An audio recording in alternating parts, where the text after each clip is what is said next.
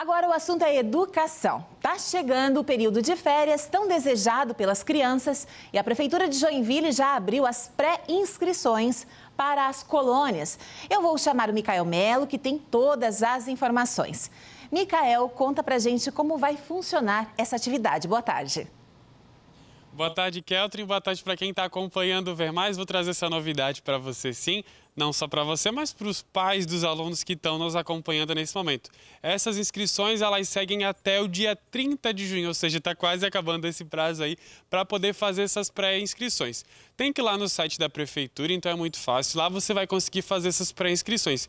E Keltrin, ao todo são 200 vagas, tá? São 200 vagas para o período da manhã e 200 vagas para o período é, da tarde. Então tem para todo mundo aí, inclusive os alunos das escolas particulares, eles podem se inscrever. Então os, pais podem fazer esse cadastro ali no site da prefeitura e aguardar o chamamento que vai acontecer ali já para os primeiros dias de julho. Então, ali no, é, é, esse, é, esse montante ele vai até o dia 5 de julho e nos dias 6 e dia 7 vai acontecer a confirmação dessas inscrições. E de que, de, de que modo vai acontecer isso? Vai ter que ir até a sede da Secretaria de Esportes aqui de Joinville.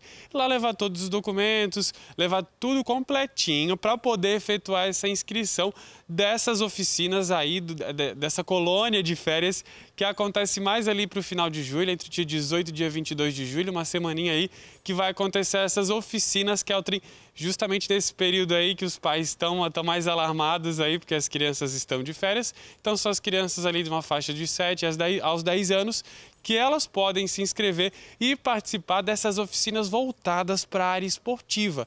Então, além dessas aulas via a Secretaria de Esportes, essas crianças vão poder fazer algumas visitas em alguns locais, inclusive no Batalhão de Infantaria aqui de Joinville, no 62BI, vai poder ser feita essa visita aí por esses alunos selecionados. Volto a reforçar, são 200 vagas ao todo, sempre de manhã e 100 à tarde. Então, tem que correr contra o tempo, as inscrições encerram no último dia desse mês, então dá tempo aí dos pais fazerem tudo certinho. E volta a reforçar. Ali no início de julho, aí então vai ser possível que esses pais, eles efetuem isso levando todos os documentos. É importante reunir tudo isso aí, Keltrin, para poder garantir que os filhos curtam essas colônias de férias. Agora volto ao estúdio com você.